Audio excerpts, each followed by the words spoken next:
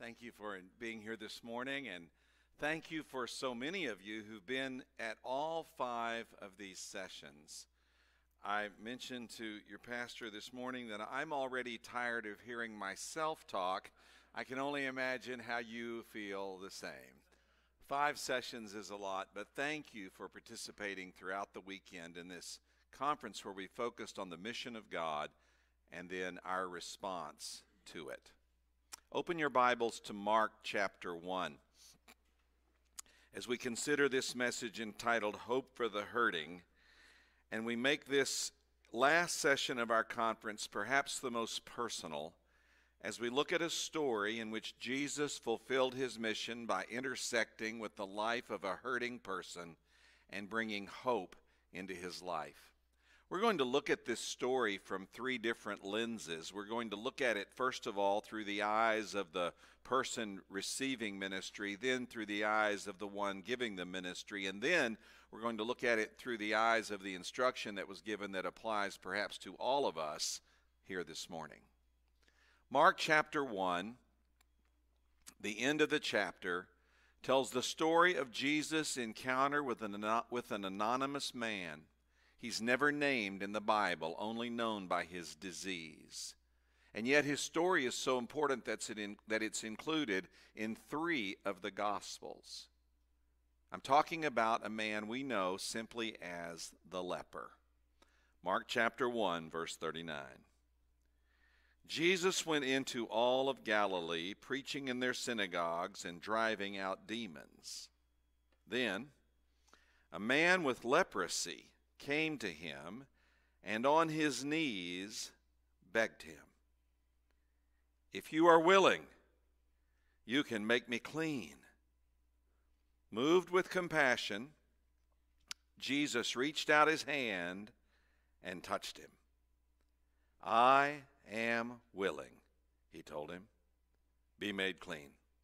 Immediately the leprosy left him, and he was made clean. Then, then, Jesus sternly warned him and sent him away at once, telling him, See that you say nothing to anyone, but go and show yourself to the priest and offer what Moses commanded for your cleansing as a testimony to them. Yet he went out and began to proclaim it widely and to spread the news, with the result that Jesus could no longer enter a town openly, but he was out in deserted places, and they came to him from everywhere.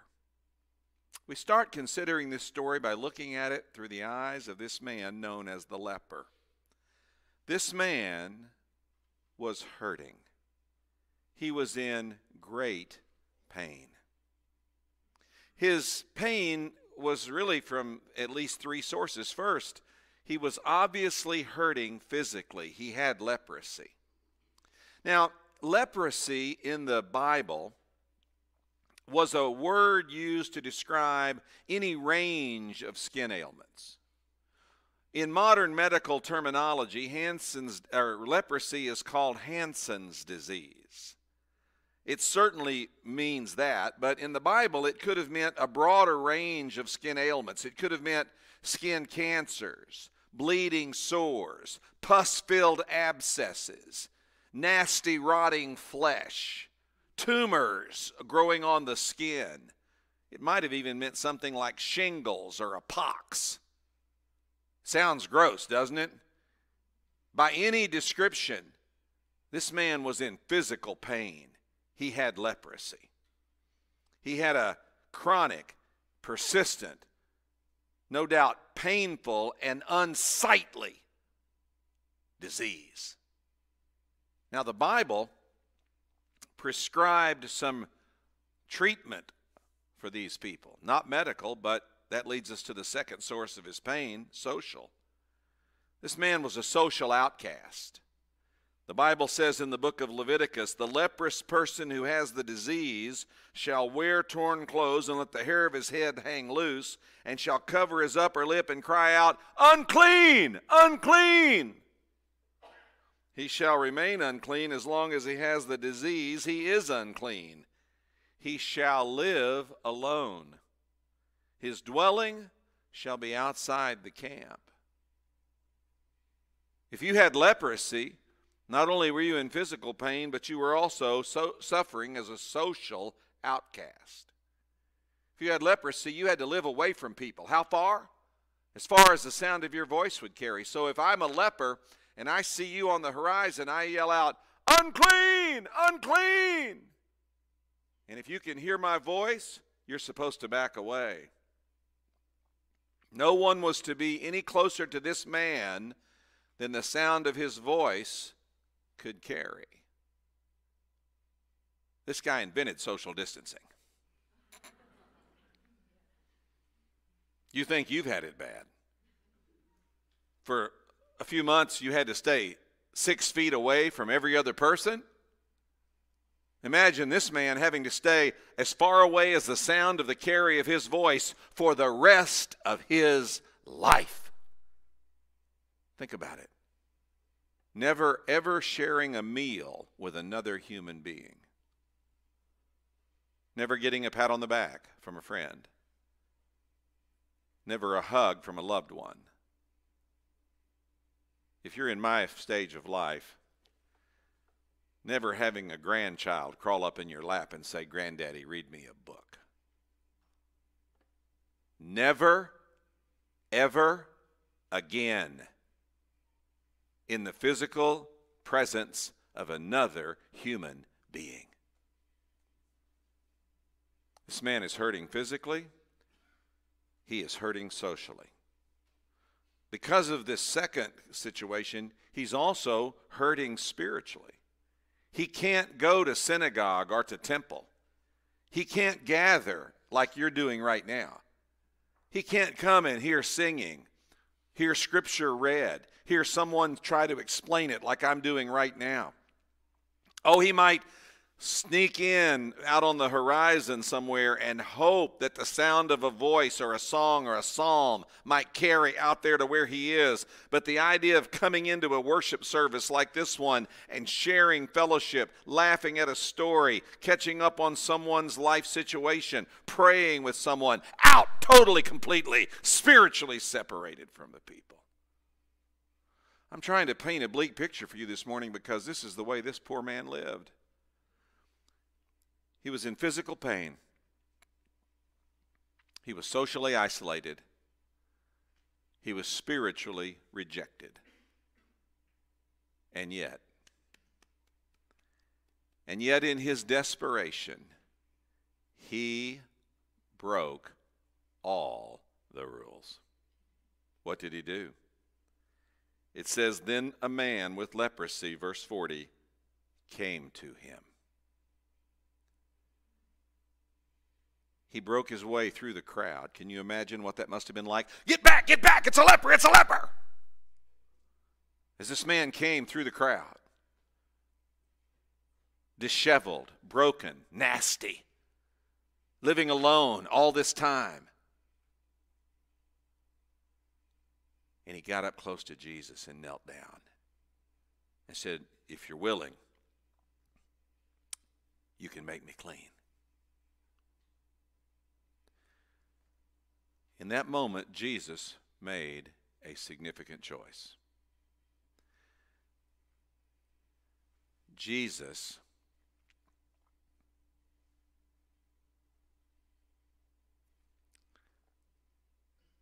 touched him. He touched him. He also broke all the rules. And in that moment, Jesus did the unthinkable. he touched a leper. Now you're thinking, well, of course, he's Jesus. But let me remind you, Jesus did not have to touch anyone to heal them. Jesus could have eye blinked him and he would have been healed. Jesus could have given him the head bob, he would have been healed. Magic fingers? A wink? Do you understand that Jesus could have simply thought the thought of healing, and this man would have been healed instantly. But Jesus did not do that. Instead, Jesus did the unthinkable. This poor, broken, disheveled, isolated, rejected man is kneeling in front of him, and Jesus reaches out and touched him. And in that moment, communicated so much about his response to hurting people. Now, this got me thinking did Jesus ever touch anyone else? So I studied all the stories in the Bible of Jesus touching another person. I found out Jesus was touching people all the time. For example, there's a story that says Jesus put his finger in a man's ear and restored his hearing. Another time, Jesus touched a man's eye and gave him back his sight. Another time, the Bible says Jesus touched a man on the lips and restored his speech. And another time, touched him on the tongue, got him right on the tongue and restored his speech. And then one of my favorites, near at the end of Jesus' life, one of his followers whipped out a sword, flicked off a guy's ear. Jesus picked that up and stuck it on the bloody stump. I'm telling you, Jesus walked around with ear wax eye gunk, snot, spit, and blood on his hands from touching hurting people.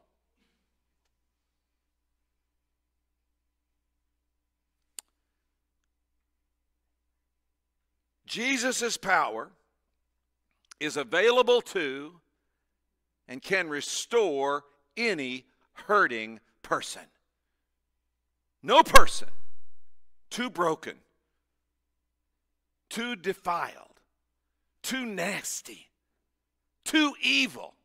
No person beyond the touch of Jesus. 1 Corinthians chapter 6 verses 10 and 11 Paul writes the church and says this, "Do not be deceived no sexually immoral people, idolaters, adulterers, or males who have sex with males, no thieves, greedy people, drunkards, verbally abusive people, or swindlers will inherit God's kingdom. And then the next great verse. And some of you used to be like this. That's you, by the way, in this room this morning. You.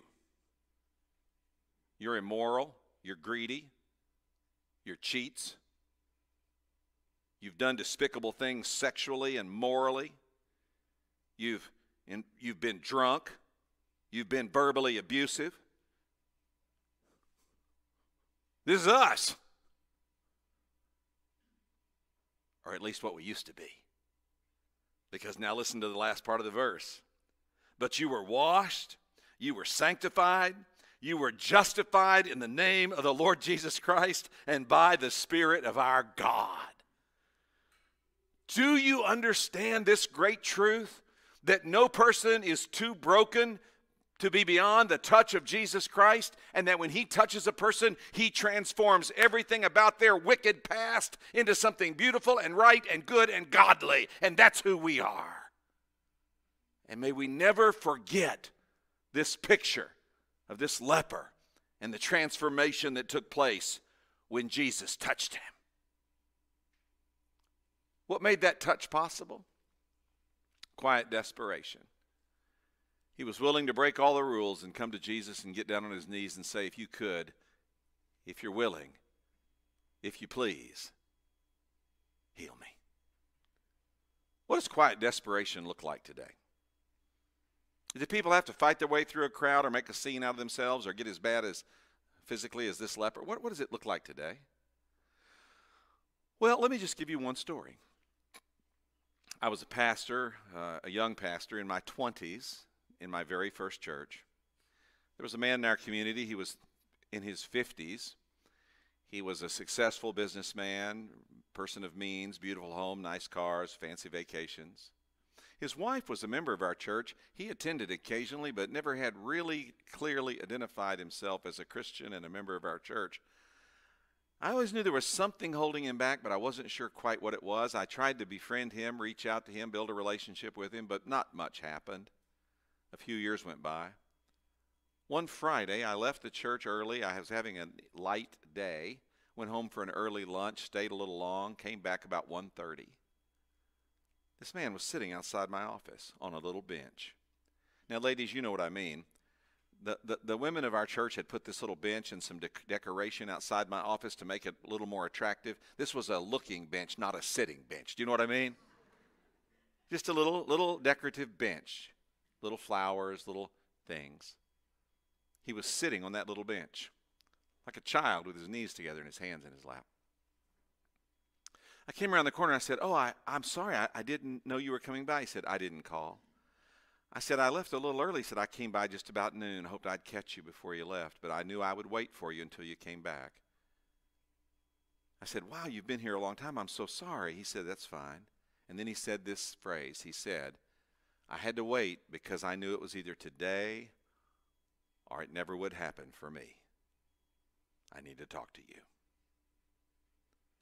And we went in my office, and he unburdened this thing which was keeping him from committing himself to God. And it's not what you think. It wasn't a woman, and it wasn't sexual. It was something else entirely. In fact, when he unburdened himself to me, it shocked me. I was not expecting it, nor would I have ever thought of it as the problem. But he unburdened himself that day, confessed his sin, asked me to help him. And I did help him pray and commit his life to Jesus Christ that day. His life was transformed. He went on to become a very active leader in our church, ultimately chaired a building committee that built our facility some years later, a remarkable transformation in his life. It all started, though, with what? Quiet desperation. A man, respected, older, successful, coming to a very young pastor and sitting on a little bench until he could get the help he needed to give his life to God. Listen here this morning. If you're here today and you're hurting, I'm not going to ask you to do something outrageous or outlandish. You don't have to make a show out of it. Nobody has to see except you and God. But by some means, you're going to have to humble yourself today and in quiet desperation say to him, I need you. And whatever that act of quiet desperation looks like for you, take it today. A leper came through a crowd. My friend sat on a little bench. Whatever you have to do today to say, I humble myself and in quiet desperation I come to God, do it today. And Jesus promises he'll touch you just like he's touched so many of us in this room and change our lives forever. Well, that's the story of this leper through his eyes. But now let's look at it through another lens. Many of you in this room have already had this experience I'm describing, and now you're trying to reach out to people who are hurting. Well, let's look at how Jesus did that. Notice what it says about him in verse 41. Jesus reached out his hand and touched him. Now, we sometimes in church use this analogy. We say that we're the hands and feet of Jesus. We go and do in the name of Jesus. And that's a good analogy and a good illustration. That's what this whole missions conference has been about. I've been challenging you to go and to do, to go into the communities where you live and into the world around us and even into the world at large and do what? Share the good news of Jesus Christ by telling people how they can understand the gospel and come to faith in Christ. Go and do as the hands and feet of Jesus. But now let me talk with you about what motivates you to do that. What is it that motivates you to be the hands and feet of Jesus, to go and to do what he's do what he wants done in our world today? Well, there's some things we try to use, they don't work. Guilt. That's a bad motivator. Here's another one shame. That's also a bad motivator. Guilt, shame. Then we turn it to the positive. Well, let's use rewards like money and recognition. Are you seriously kidding me? There's not that much money in the ministry and there's not that much recognition to go around. so if guilt and shame and money and recognition are not going to motivate us to be the hands and feet of Jesus going and doing what he needs done in the world today, what is it? Well, it's right here in the text. What does it say about Jesus, verse 41? Moved with compassion. Moved with compassion. What motivated Jesus to do what he did, break all the rules, touch this leper, heal him in that moment, what motivated Jesus was not guilt or shame or money or recognition, it was compassion. Now let's talk about compassion for a moment. Because compassion, used in our modern understanding, is not the same thing as was meant by the word in the New Testament era. Today, we think of compassion as something on a Hallmark uh, channel movie or something on a sappy greeting card we get at Christmas.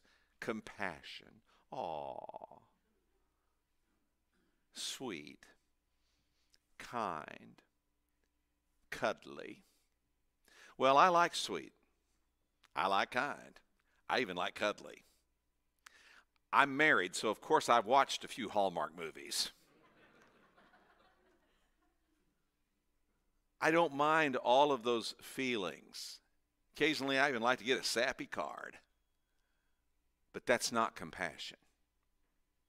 In the biblical world and in the use of the word, the word compassion literally means, work with me now, the word compassion literally means a stirring or a rumbling in the gut. It means a churning in your bowels. It means a grumbling, something deep down inside of you. That's compassion. It literally means rumbling in the gut, bubbling in the bowels, stirring in the stomach, in the inner being of who you are. And it's something that comes up within you that moves and rumbles and percolates and finally moves you to take some action. It's actually a word in the biblical understanding that's more closely related to the word anger in our culture. Now, don't misunderstand me. Compassion and anger are not the same thing, but I'm trying to give you some analogy to help you understand here. In our world, we say someone is what? Boiling with anger. Have you heard that? Someone is seething with anger, right? All right. Someone is going to what? Blow up in anger. Why? Because we recognize anger as something that happens deep within a person, that bubbles and cooks and simmers and stews until finally it comes up out of them some way and motivates them to take action, usually negative action. Compassion is like anger in that sense. It's something deep within you. It's something that stirs you on the inside. It's something that wells up and motivates you, drives you, compels you, propels you, compels you. It pushes you to take action in a positive way.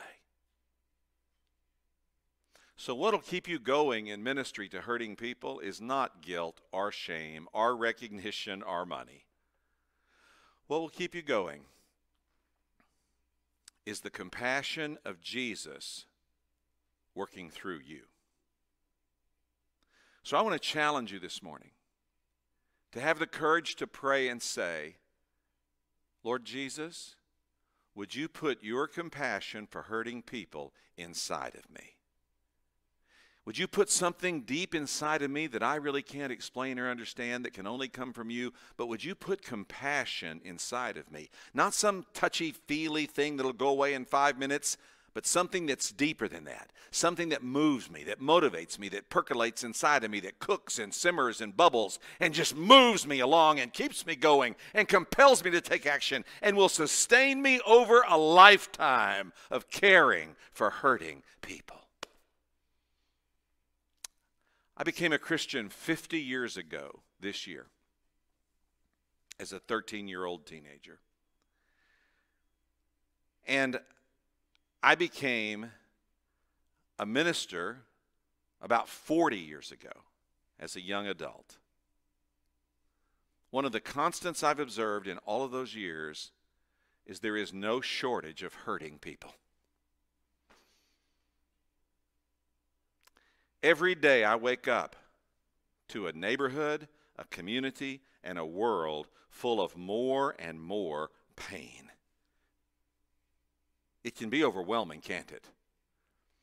And as a ministering person, as a Christian who's a part of this church who's trying to do something about this, you can have something that's a real thing. It's called compassion fatigue. You just run out of energy for the task. You just can't do any more.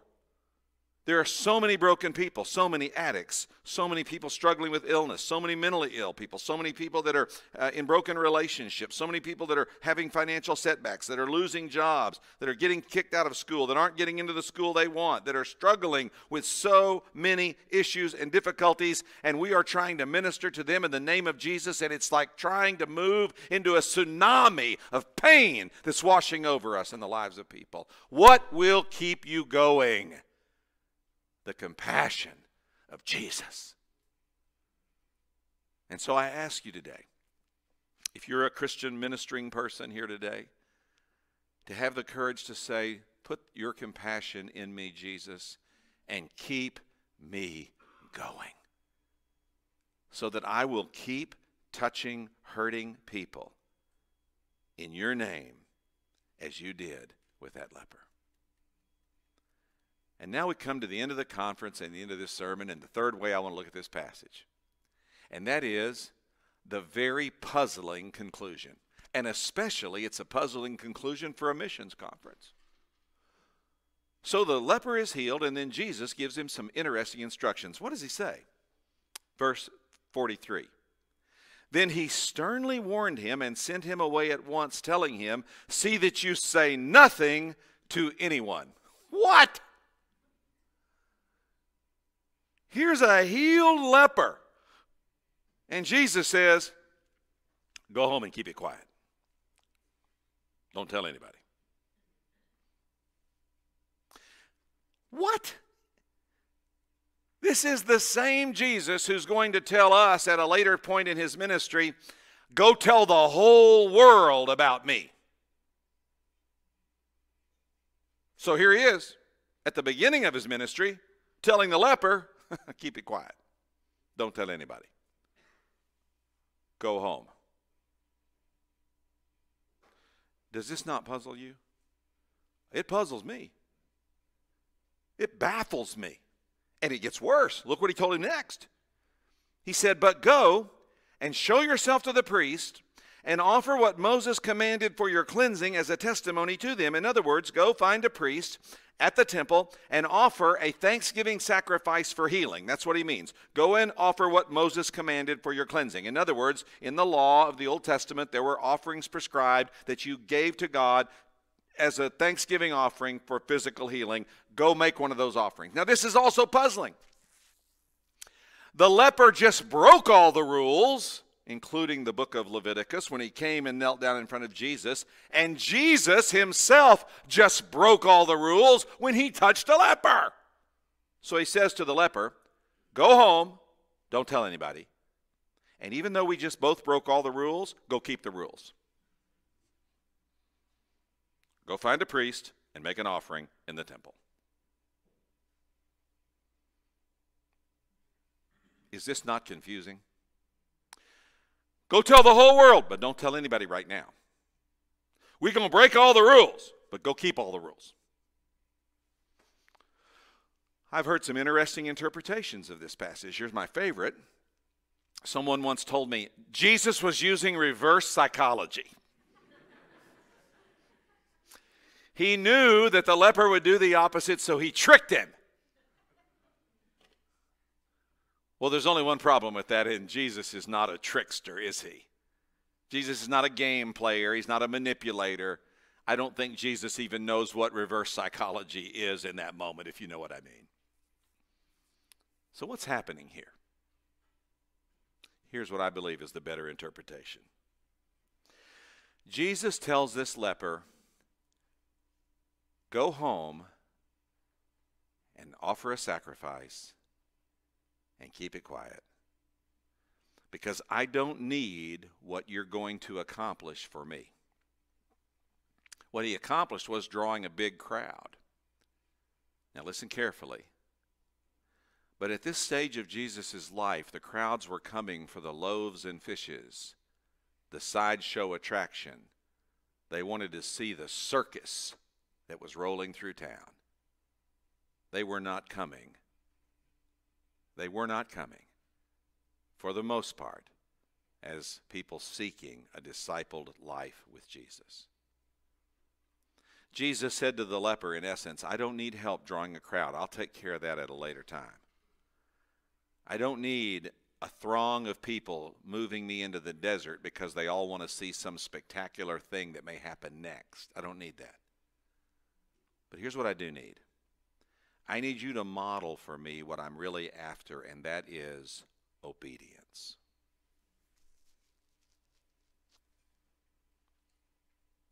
I need you to do what I say. I don't need you to do what you think is going to help me out. Now, church, listen to me, this gets serious. The end of this message is Jesus says to every one of you, What I need you to do is obey me. I don't need any of your creative ideas about what you can do to help me out. I need you to obey me.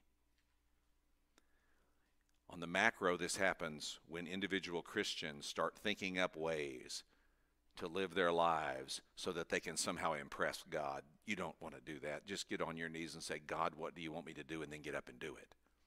On the macro or the bigger scale, it's when a church or a culture starts redefining what the Bible clearly teaches about things like gender and marriage and morality and saying, oh, no, this is what the Bible really meant about that, or oh, the Bible really doesn't have anything clearly to say about that, when it absolutely does. We're trying to help God out by clearing things up. Do you track what I'm saying? Jesus is telling us on the micro, individually, and on the macro as a culture, I don't need your help, I need your obedience.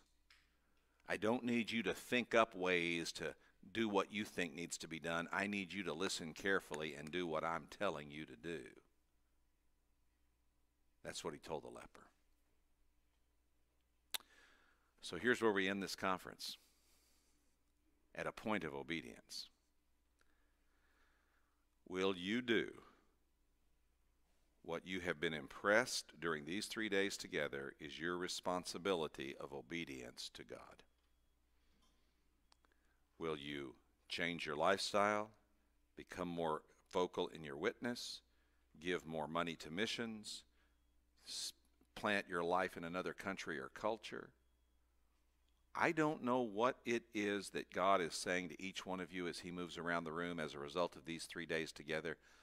But if you've been here and you've been seeking and listening, He is saying something to you. He's impressing you in your spirit with a clear impression of what He wants you to do.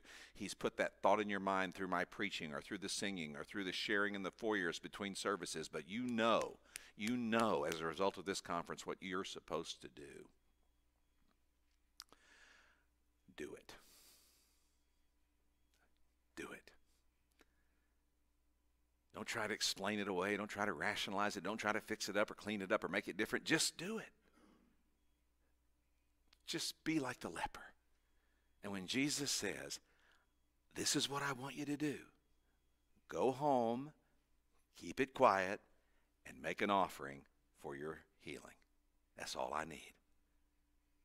Well, the leper didn't do it. He went out, told the whole world. Crowds came. Jesus was forced out of the villages into the countryside.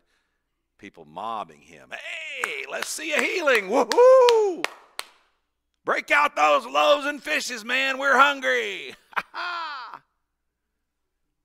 Jesus wanted none of that because he wasn't interested in a mob. He was interested in obedient disciples. And he still is. Let's bow our heads together. With our heads bowed now, I want us to have a few moments of prayerful reflection. So, would you just spend time praying quietly this morning as I lead you? First of all, would you thank Jesus that he touched your life one day? If you're here and you're already a Christian, you were a hurting person with all kinds of sin and evil and wicked difficulty in your life, and Jesus touched you. Thank him for that. Man, what a difference he's made. Now, if you're here this morning and you are hurting, and you've never committed your life to Jesus Christ, just pray a simple prayer like this Lord Jesus, right now I turn from my sin and I receive you as my Lord and Savior. A very simple prayer like that, a prayer of quiet desperation, will launch you on a new trajectory as Jesus comes into your life and changes you forever. You say, is it really that simple? It really is. And if you're praying a prayer like that, come to a pastor or a deacon, a youth minister, a Sunday school teacher, a Christian friend in this room and say, Today I prayed and committed my life to Jesus Christ. Help me know what to do next. And they will.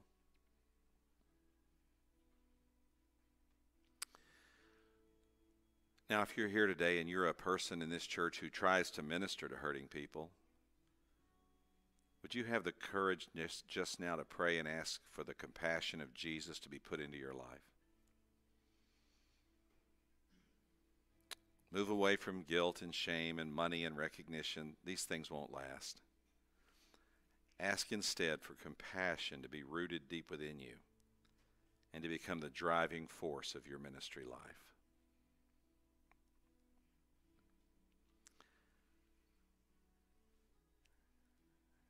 And now, finally,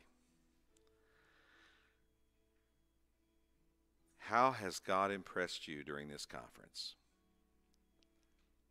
Change your lifestyle, become more missional, missional focused, be more vocal about sharing your faith, join in an outreach project, go on a mission trip, commit your life to missions, give more to missions. What is He saying to you? Obey him. Get up from your seat in just a moment and start going in the direction of obedience. And ask God to help you along the way. Heavenly Father, I thank you for the story of this leper. Thank you for the way we can see it through these different lenses. Thank you that he shows us how much you care about hurting people and how you can transform us into your followers. Thank you so much. Thank you also that his story teaches us about the compassion of Jesus, and I pray that you would put that compassion into my life and make me more compassionate toward hurting people. And then, Father, the end of this story, Jesus gave some remarkable instructions Use those instructions to motivate us to be obedient, to do what you say, not what anyone else says, and to give us the courage to do that as we wrap up this time together. Heavenly Father, thank you for these dear people in this wonderful church, and thank you for the ministry they have across this community and around the world. Pour out your Holy Spirit's power and blessing on them and expand their work in ways they could have never imagined or understood. And we receive it from you in Jesus' name. Amen.